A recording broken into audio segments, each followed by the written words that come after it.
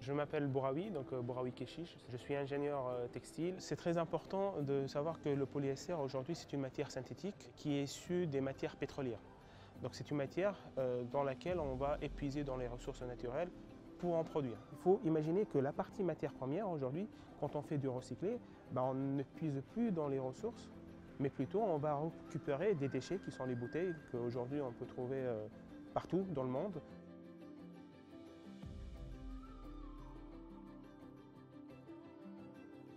Pour recycler le polyester aujourd'hui, il y a deux solutions, euh, deux technologies qui sont disponibles sur le marché. Et donc on va parler soit de technologie euh, mécanique ou thermodynamique, c'est-à-dire que c'est une technologie où on va prendre des copeaux euh, de bouteilles qui vont être au préalable lavés, nettoyés, enlever les. Donc ces copeaux-là, on va les mettre dans un système fermé où on va monter la température pour trouver un état un peu visqueux, liquide de la matière. Et à partir de ce moment-là, on va pouvoir euh, pousser cette matière-là dans des trous qui va se transformer en fil.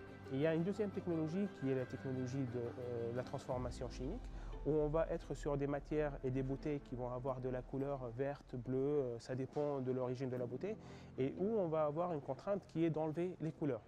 Donc pour ça, on va utiliser la solution chimique qui consiste à prendre ces mêmes coupeaux qu'on va mettre dans un solvant pour extraire le polyester.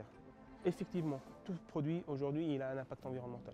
Maintenant, le challenge, c'est de pouvoir euh, le situer par rapport à ce qui existe aujourd'hui sur le marché.